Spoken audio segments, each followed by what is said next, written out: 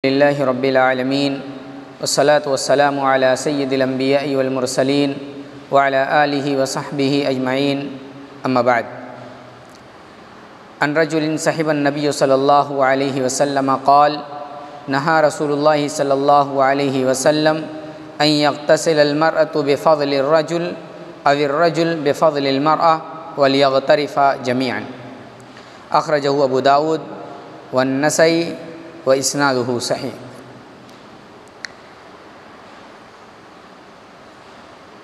बलोगुल मराम, बाबुल मियाँ, यानी पानी के अबवाब से बातें चल रही थीं। कुछ बातें पिछले दुरूस में बयान की गई और इन आज कुछ मज़ीद बातें ज़िक्र की जाएँगी।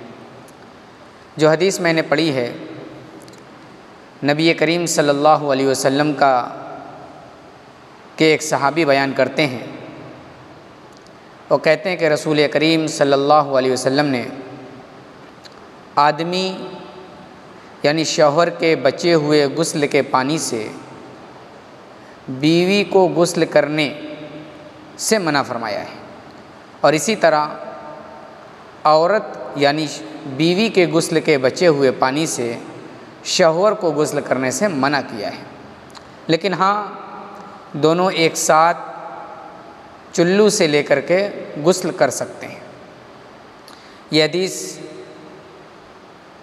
अबू दाऊद के अंदर, सुनन नसई के अंदर मौजूद है और अल्लामा अलबानी रहमतुल्लाह अलैह ने इस हदीस को सही करार दिया है। इस हदीस से मालूम हुआ कि औरत अगर किसी पानी को इस्तेमाल किया है गुस्ल में तो उसके बचे हुए पानी मर्द इस्तेमाल नहीं कर सकता है। और इसी तरीके से मर्द ने किसी पानी को गुस्ल के लिए इस्तेमाल किया है तो औरत इस्तेमाल नहीं कर सकती है। लेकिन दोनों एक साथ मिल कर के अगर गुस्ल करना चाहें तो गुस्ल कर सकते हैं। इस हदीस से ये बात मालूम हुई। अब आइए हम दूसरी एक और हदीस पढ़ते हैं। हज़रत हज़रत इबन अब्बास रदी अल्लाह तु रावी हदीस हैं। अन इबन अब्बास रदी अल्लाह तुमा अन नबी सल्लल्लाहु अलैहि वसल्लम कान यक्तसिल बफ़ल मैमूनत रदी अल्लाह तहा अखरज मुस्लिम। हज़रत अब्दुल्ला इबन अब्बास कहते हैं कि रसूल करीम सल्लल्लाहु अलैहि वसल्लम मैमूना रदी अल्लाह तहा के गुस्ल के बचे हुए पानी से गुस्ल किया करते थे। ये हदीस पिछली हदीस के बिल्कुल मुखालिफ है।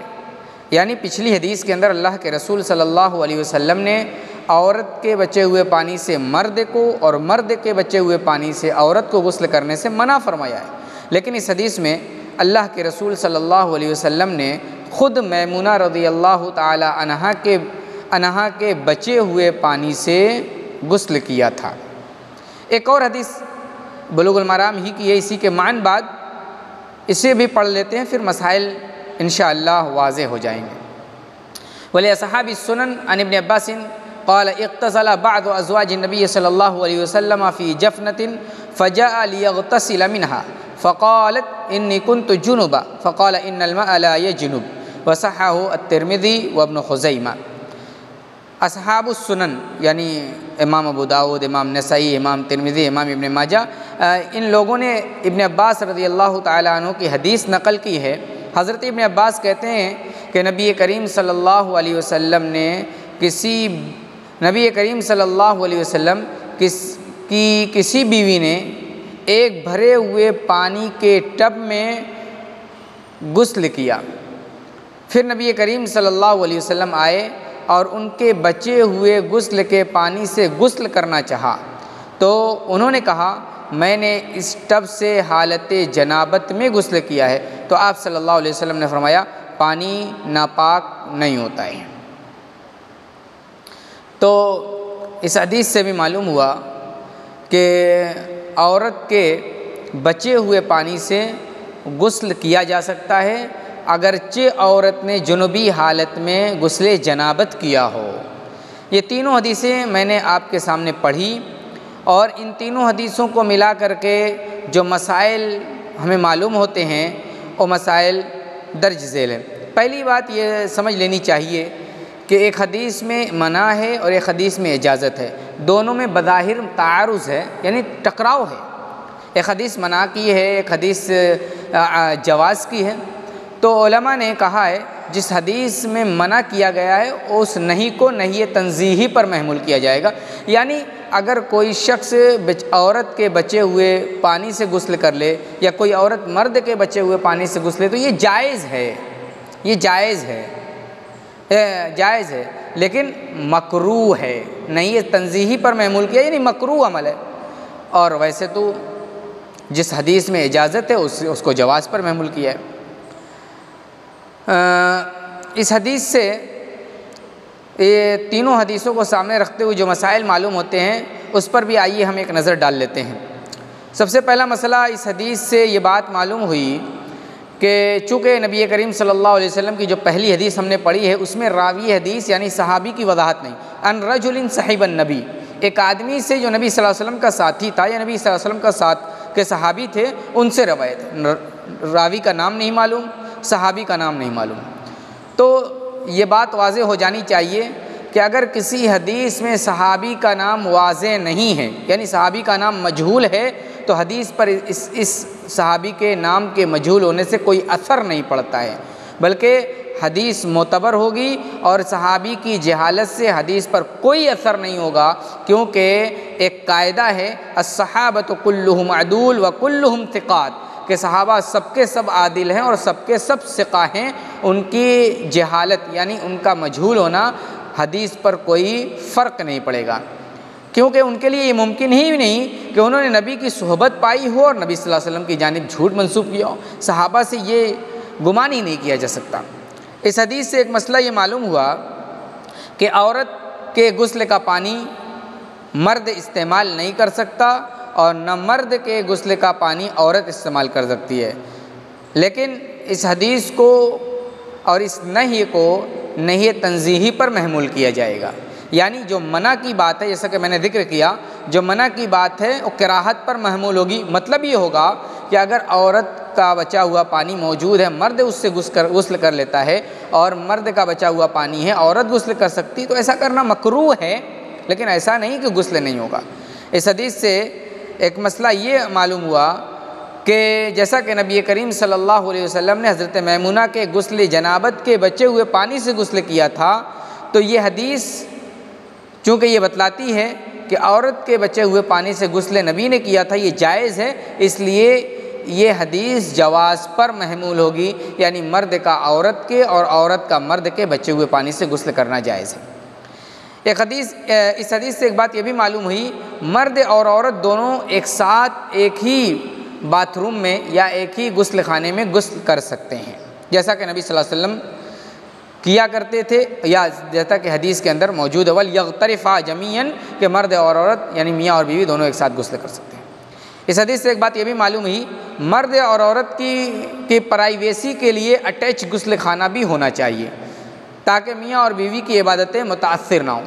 अटैच बाथरूम होगा रूम से अटैच बाथरूम होगा तो मर्द औरत मजामियत के बाद, अपनी मुबाशरत के बाद गुस्ल करना चाहे तो उन्हें किसी तरह की शर्म और हया माने नहीं होगी, बल्कि वो अपने कमरे में गसल कर सकते हैं।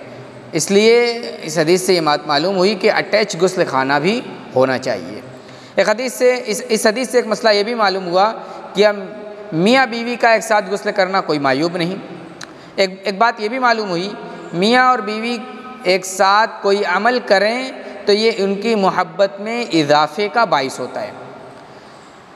इस हदीस से एक चीज़ ये भी मालूम हुई कि वालदेन की ज़िम्मेदारी है कि वो शादी के वक्त अपने बेटों के लिए गुस्ल वगैरह के लिए अटैच बाथरूम का इंतज़ाम करें, ताकि वो सुन्नत पर अमल कर सकें और उनकी इबादतें मुतासर ना हो।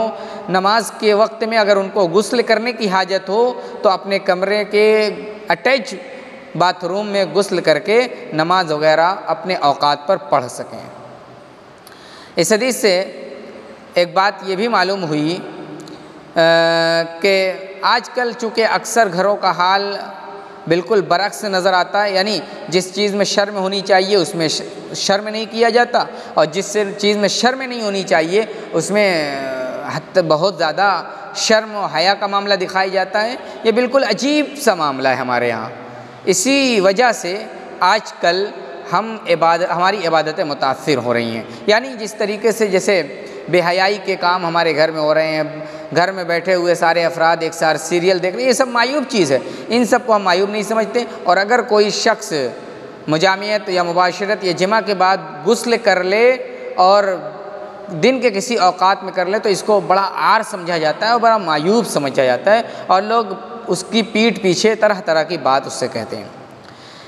इस हदीस से एक बात ये भी मालूम हुई कि शोहर और बीवी का जिस तरीके से एक साथ गुस्ल करना जायज़ है, उसी तरीके से शोहर और बीवी का एक साथ एक ही बर्तन से खाना जायज़ है और इसी तरीके से एक साथ एक ही बर्तन से एक दूसरों को अपने हाथ से खिलाना भी कोई मायूब नहीं है, बल्कि इस अमल से आपस में मोहब्बत बढ़ती है।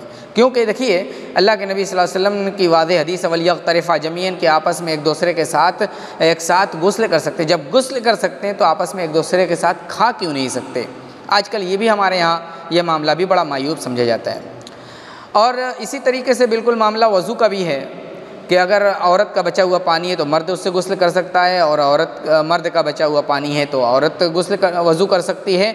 और हदीस को, नई वाली हदीस को नई तंजीब पर महमूल किया जाएगा और करने वाली हदीस को महमूल जवाज़ पर महमूल किया जाएगा। इसी तरीके से इस हदीस को सामने रखते हुए एक बहुत अहम मसला ये मालूम हुआ, जो कि आजकल कुछ मुतालिम किस्म के लोग हैं या चंद किताबें पढ़े हुए हैं और थोड़े से मसले को जान लेते हैं तो खूब वावेला मचाते हैं और खूब मसाइल को बयान करते हैं। हालाँकि उनके सामने सारी चीज़ें माँ लहू और माँ अलह नहीं होता।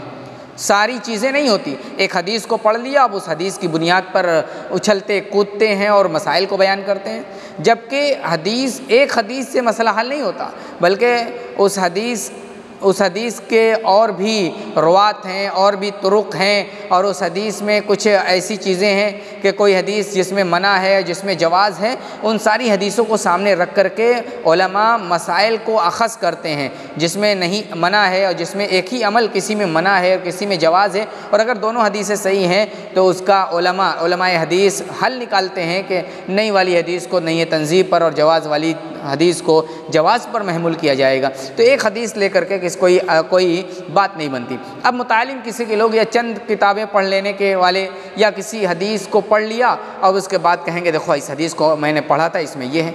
हालाँकि अगर यही कहा जाए, जिस हदीस में अल्लाह के रसूल सल्लल्लाहु अलैहि वसल्लम ने मना कर फरमाया है, मुतालिम किस्म के लोग अगर उस हदीस को पढ़ेंगे तो कहेंगे, देखो, मर्द और औरत का, औरत और मर्द का एक साथ बचे हुए पानी से गुस्ल करना जायज़ नहीं, बल्कि हराम है। क्योंकि उनके सामने दूसरी हदीस नहीं है। जब दूसरी हदीस सामने होगी और ने इस पर क्या कमेंट किया क्या तबसरा किया वो सामने होंगे तो फिर मसाइल को बयान करने में आदमी भटकेगा नहीं और मसाइल को सही तरीके से बयान करेगा, उसी नहज पर बयान करेगा, जिस नहज पर ओमलामा ने बयान किया है। तो मतालिम किस्म के लोगों को ये बात जानना चाहिए कि पहले कोई मसला बयान कर रहे हैं तो उसके माँ लहू, माँ अलह को देख लें, क्या इस इस ताल्लुक से कैसी हदीस है, क्या हदीस है, कैसी हदीस नहीं है, इस पर ओलमा ने क्या लिखा है, फिर उसके बाद बयान करें, वरना अपनी ज़बान को खामोश रखें, इसलिए कि मसाइल को बयान करने और अदीस से मसले अखज़ करने का काम ओलमा का है, जिन्होंने अपनी पूरी ज़िंदगी इल्म हदीस की खिदमत में गुजार दी है। तो ये एक हदीस जो बुलगुलमराम की थी, औरत का मर्द और मर्द का औरत के बचे हुए पानी से गुस्ल करने का बयान, इसे मैंने बयान कर दिया। इस हदीस को सामने रखते हुए जो मसाइल निकल रहे थे, उन मसाइल को भी मैंने बयान कर दिया। इन मसाइल को सामने रखें और इन मसाइल को सामने रख कर के इस पर अमल करने की कोशिश करें, या अमल कर अमल नहीं हो पाता है तो कम से कम मसाइल तो जान लें, ताकि दूसरों तक बयान करने और मजलिस में बयान करने के लायक बन सकें। अल्लाह ताला हम सबको इल्म हदीस खूब खूब आम करने की तोफ़ी अता फ़रमाए।